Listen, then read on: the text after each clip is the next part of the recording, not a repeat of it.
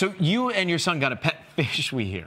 A pet that is. We that was our COVID pet. Okay. Yeah. we- That's a sensible COVID pet. Yeah, there he is. Was That's there a his big moment. negotiation That's for his big moment. That's. Oh God, his name is long. It is Half Moon, Kid Fish Toe, Young Fish Squire the Third of the famous Fish Squires, all made up by my son. Yeah. He's a creative brain. Uh, he, he somehow made it. He summered on the Upper West Side when we traveled internationally.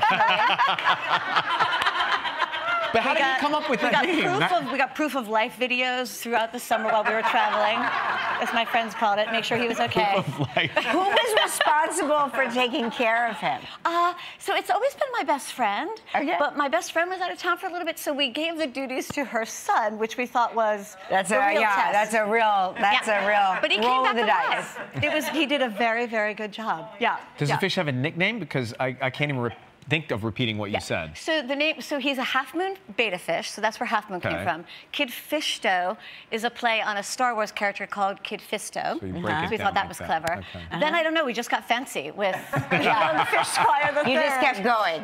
And now of the famous fish squires, which are not famous, but um, like me, I'm a famous fish squire. Um, uh, so yeah, so now we're, we whenever we think about getting another pet, we're like, well, they they can't be a famous fish squire; they have to be a famous dog squire or something. you know. Right. So.